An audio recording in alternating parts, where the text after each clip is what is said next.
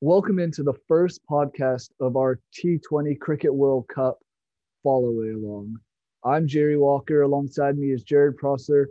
And these are going to be some podcasts that we're going to be doing every couple days during the first round. And then once it gets into the Super 12 round, we'll be doing these podcasts every day. So check them out. Check out all of our other stuff. You can look back if you haven't already seen it.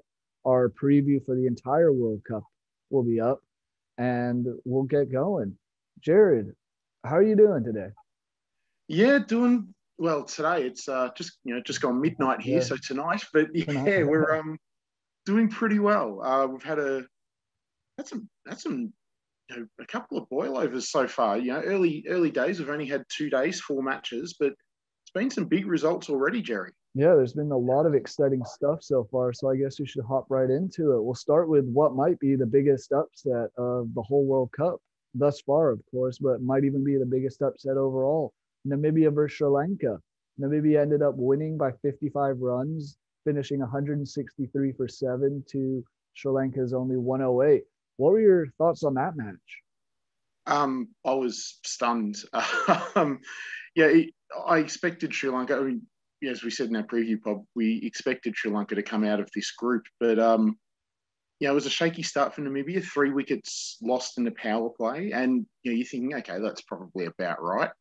Uh, but they consolidated really well in the middle order than the Namibians. Um, Jan Frylinck and JJ Smit put on a really, you know, so they, they basically rescued the innings. Fr- Frylinck in particular through the middle order.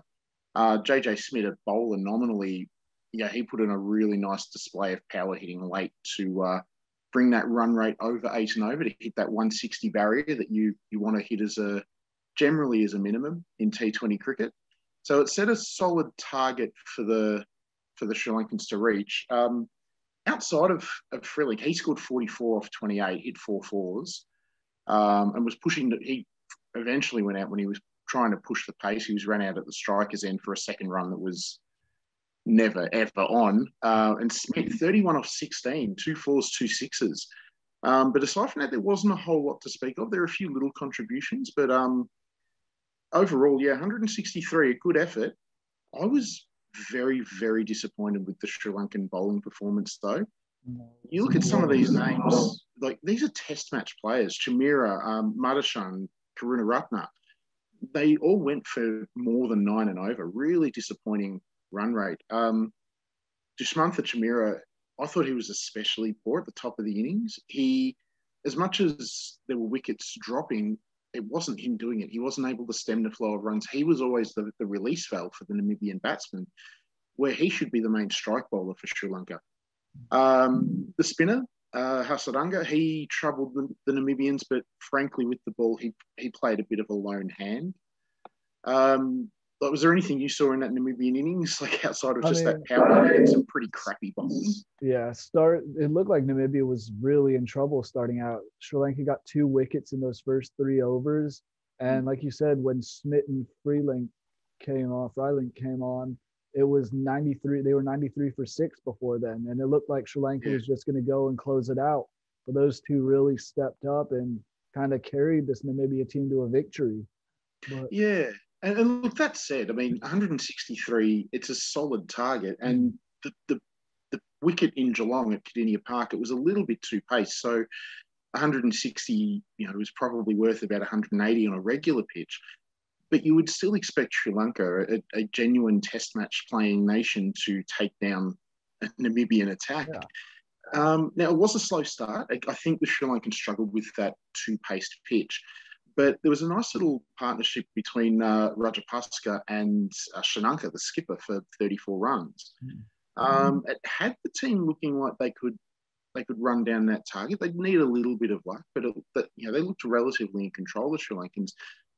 But from there, it was a disaster. They lost their last six wickets for just 34 runs. Like just a like that's a devastating collapse.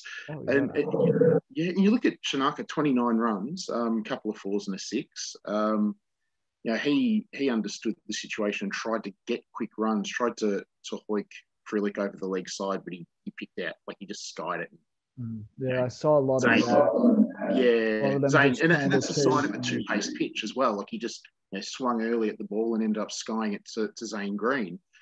Um, Rajapaksa, you know, he was another one who tried to push the pace, but he was beaten in flight by uh, Bernard Scholtz, the, the left arm spinner, and got caught at deep mid wicket. But um, man, like just a, there, there was nothing else there. Like there was, you know, those two have gotten basically, you know, close to 50 or close to 50% of the score for Sri Lanka. The other nine batsmen just did not show up at all. No, not at all. And I mean, Ben Shikongo bowling for Namibia got two wickets in two consecutive balls, and that kind of yeah. seemed like almost a nail in the coffin at that time. It was just there was just showing no life from Sri Lanka, and this guy came in and just shut him down immediately.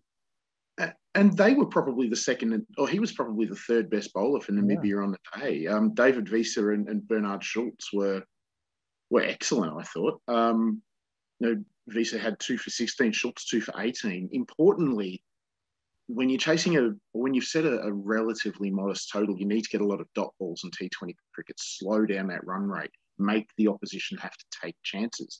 They had 23 dot balls between them. That the, the Sri Lankans were just not able to get those two away, and that created the pressure, you know, for the other batsmen to hit the other bowlers out of the attack, and it just didn't happen.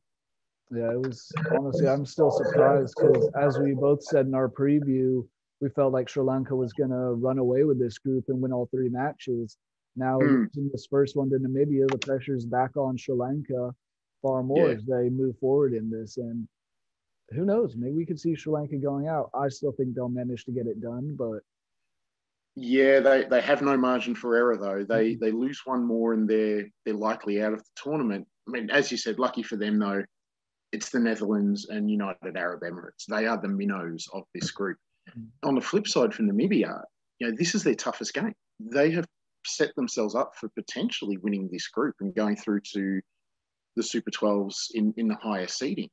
So, you know, just a really, really good effort there. Frylinck was um, man of the match. Um, but yeah, he, this is one where you know, Namibia have, have, have kind of caught everyone on the hop with the first game here, a big upset. And uh, yeah, it's, it, it, was a bit of a shame because the Sri Lankans came out in support of their team down in Geelong. And you know, Sri Lankan fans, Indian fans, they create this really special atmosphere.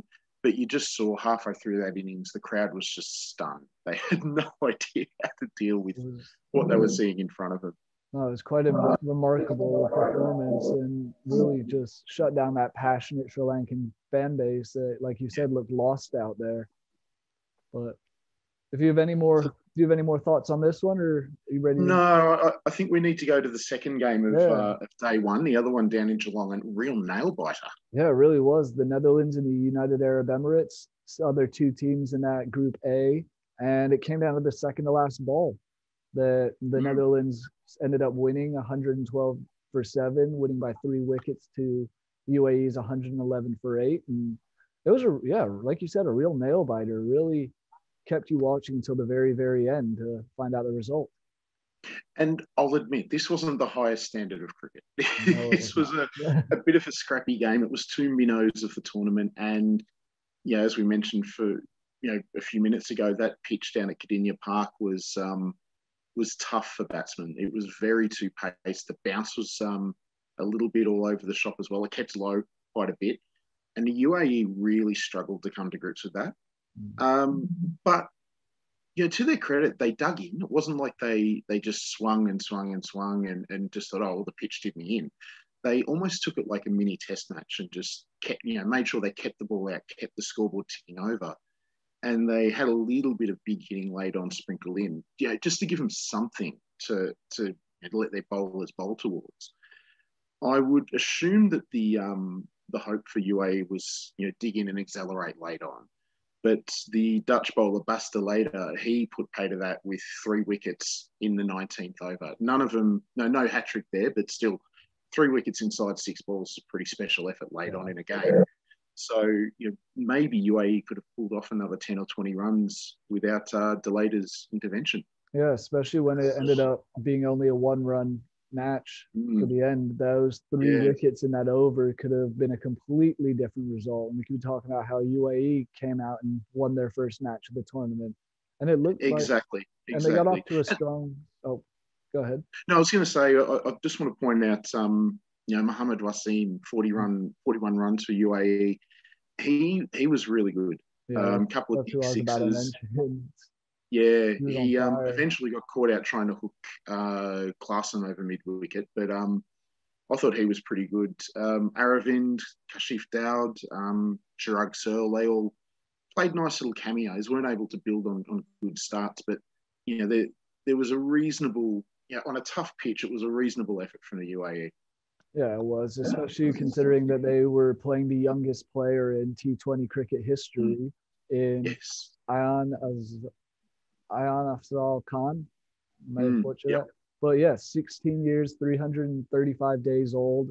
I mean, I remember when I was 16, I was learning to drive and not playing on the cricket's one of cricket's biggest stages. And he did he did yeah. okay. Five runs playing for your country balls. at 16, man. Yeah, it's um something. It's else. almost sickening. It's almost yeah. sickening. So, um, crazy, but yeah. And look at a little shout out here. You know, we mentioned that this pitch was hard to bat on, but Tim Pringle and Fred Klaassen at the top of the, the, the opening bowlers for the Dutch were were really good as well. We mentioned De Leede who picked up those three wickets in the 19th over, but um, yeah, Klaassen and Pringle they set up the rest of the bowling attack by being really economical early on as well. Yeah, absolutely. It was kind of an all-around decent win, nothing special for the Netherlands, but they did what they had to do to get this first win and now they play, I believe, Namibia in the next game, which we were saying is going to be the decider for that second place position, but now it could be a hmm. decider for that first place position in the group. Yeah, and you know, I um, yeah, I, I I got to admit the Dutch, you know, that there is a. I mean, we'll see what happens with Sri Lanka. I mean, you know, Sri Lanka might be you know, nervous as hell coming into their next game, knowing it has to be a win. They have to play it perfectly.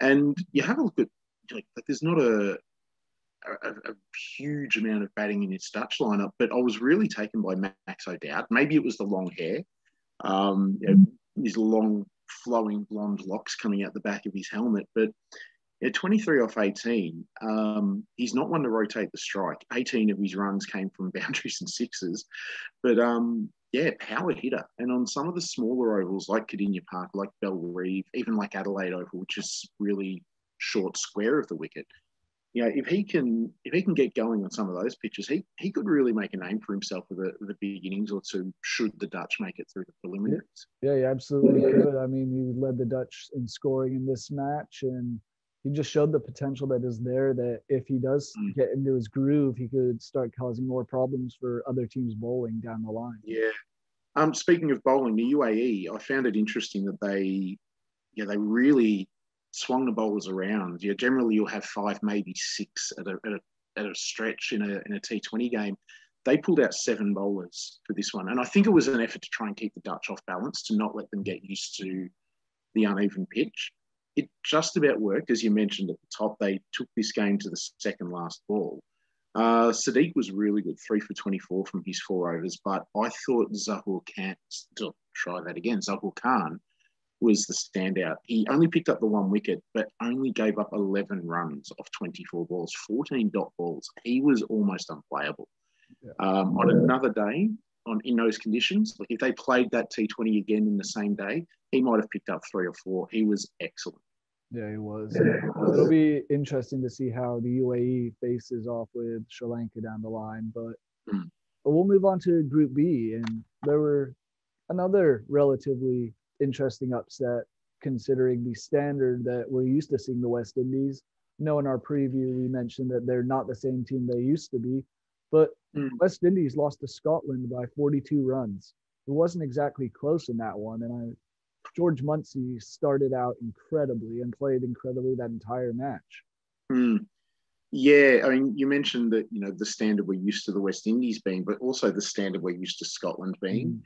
Yeah, this is an. I think this is a bigger upset than the, the than the Namibia match, mm. um, purely because you know Namibia have, have at least made the, the the last round of a major tournament. Scotland are genuine minnows.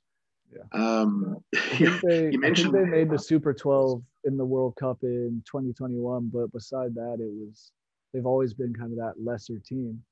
Oh yeah, no, exactly. Scotland are yeah, they're you know the third best team in Britain. You know, put it that way.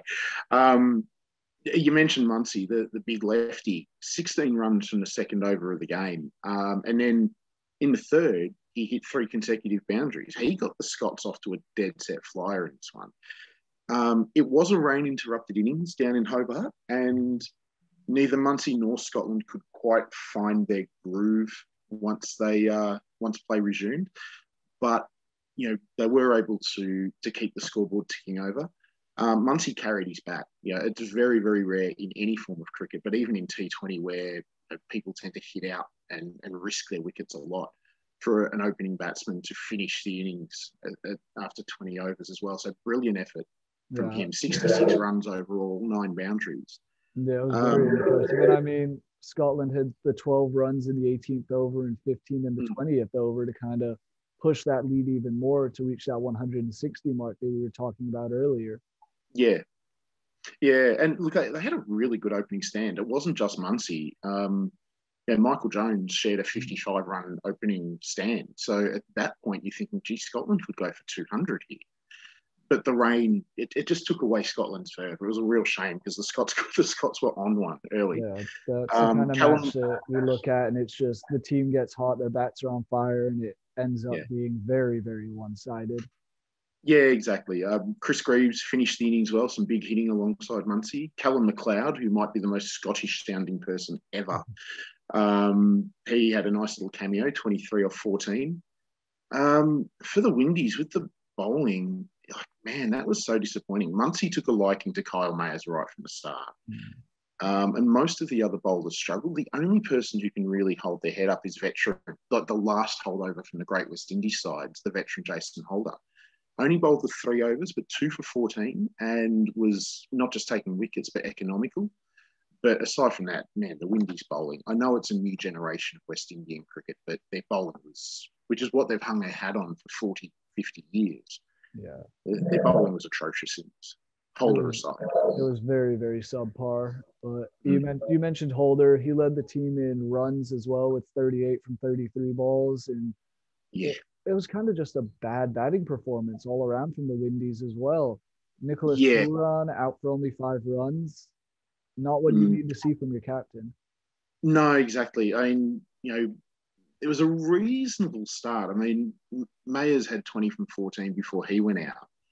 Uh, Evan Lewis scored at a decent clip. Brandon King, who came in for Mayers, yeah, he was going all right when until he was dismissed. But from there, it was a disaster. Like the the Windies couldn't figure out the spinners. Mark Watt and Michael Leask picked up three and two wickets respectively, and they were tough to get away. Three for 12, two for 15. They had the West Indies tied in knots. You mentioned Holder, 38 from 33. He was the only batsman to fire a shot in this one, outside of that little opening salvo from Mayers and Lewis. Um, it, like this was like the bowling was bad, the batting was worse. You take Holder out of this side, and, and like this might have been the worst World Cup performance I've ever seen. Yeah. This um, this new era of Caribbean cricket, it really couldn't have gotten off to a worse start. No, especially considering they're hosting the next T20 World Cup, which the mm. fans down there will want to see a at least competitive team. Which, when you're getting blown out by Scotland, it doesn't look like it's going to be a very competitive team. At least not this year.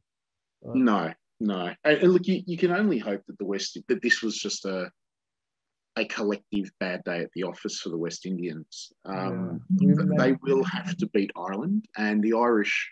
You know, we'll get to their game in a moment. But the Irish will be looking for a bounce back game.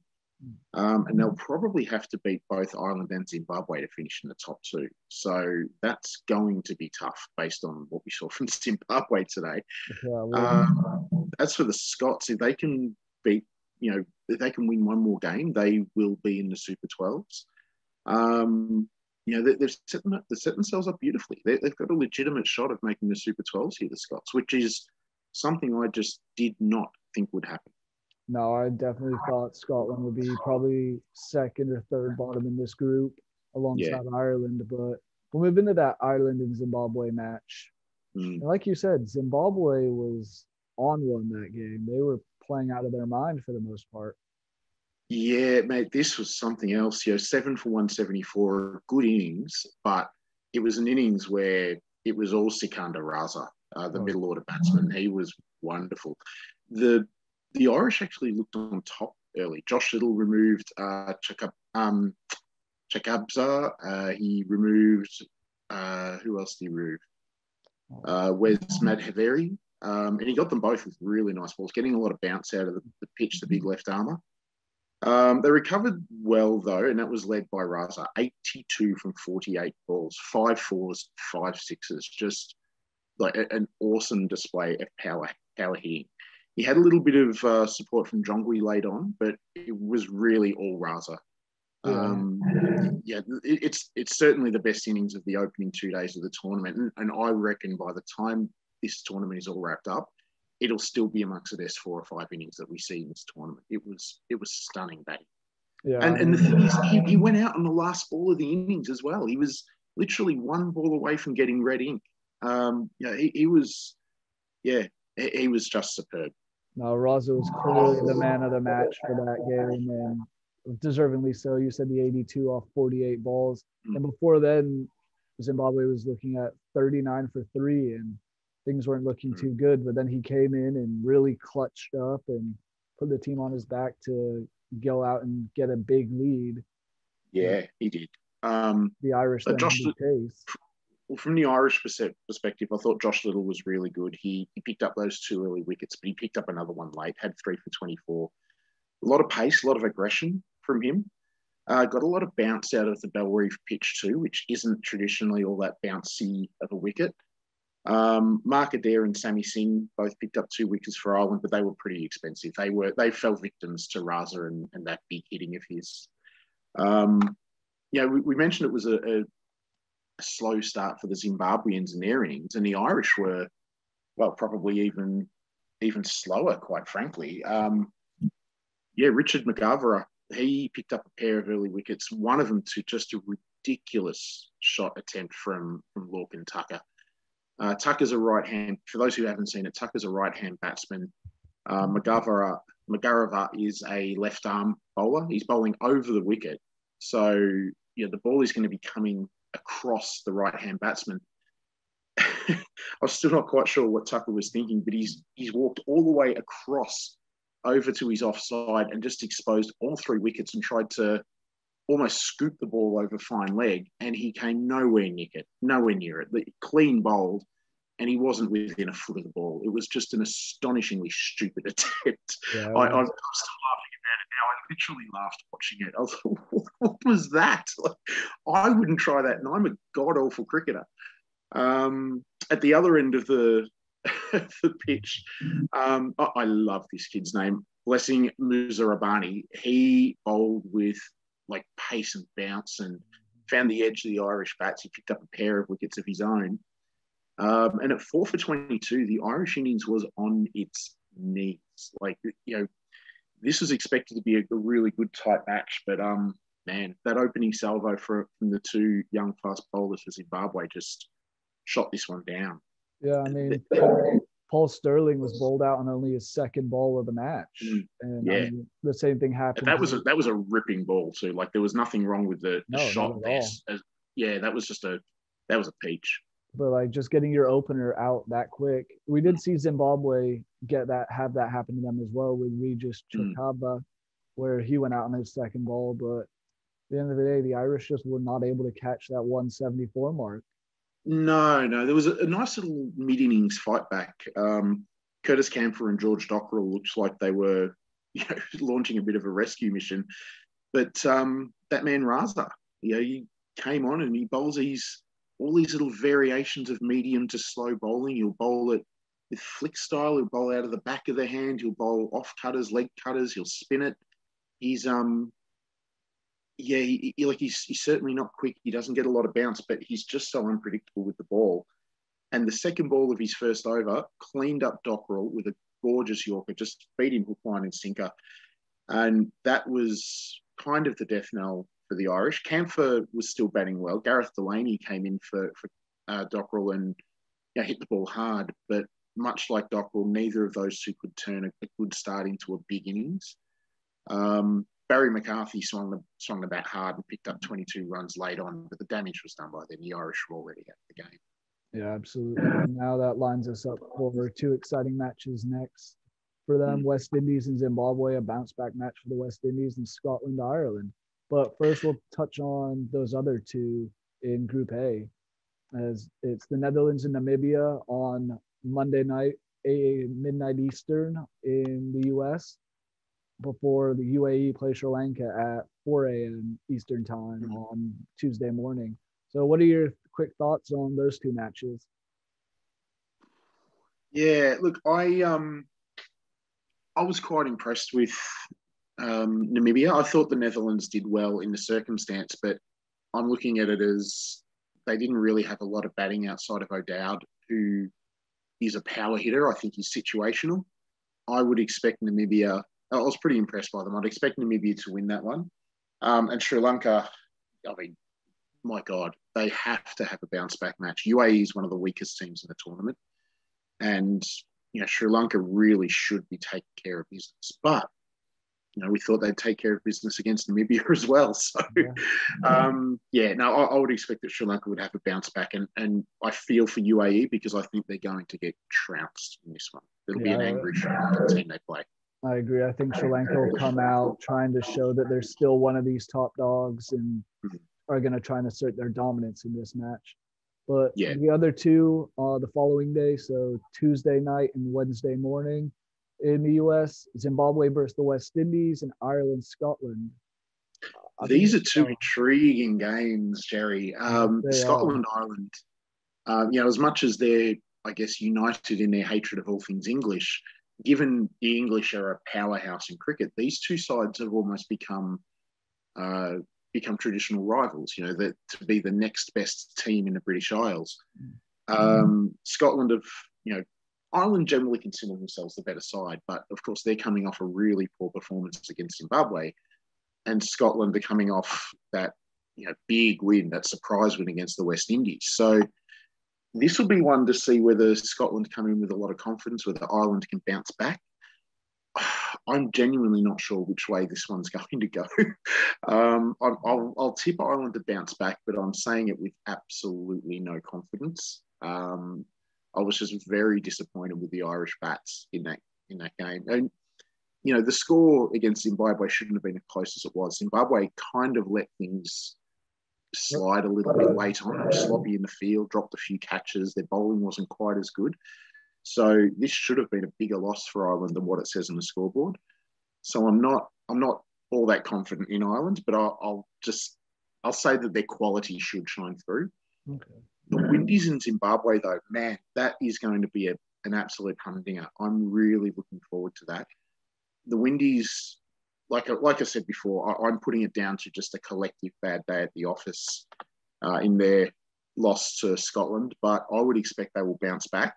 And Zimbabwe, they were a lot better than what I thought they were coming into this tournament. I was very, very impressed with their bowling.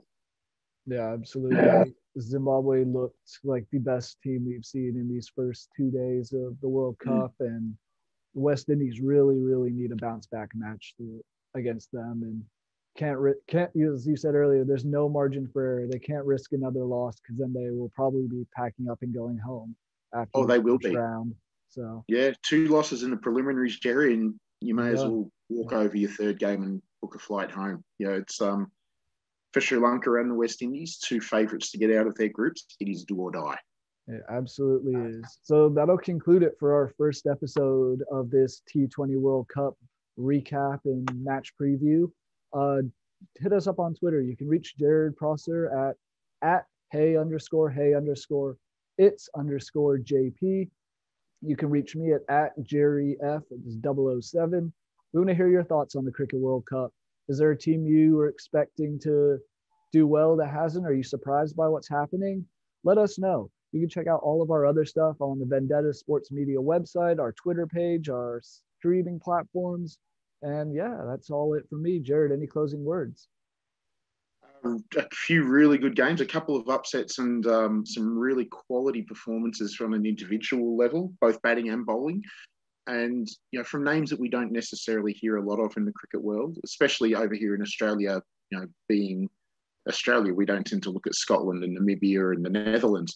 So it was really impressive to see some of these uh, more unknown players get their moment in the spotlight and, and make the most of it.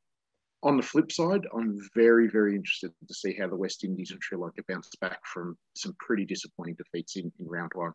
Absolutely. So there it is, guys. Thanks for listening in. We'll see you next time.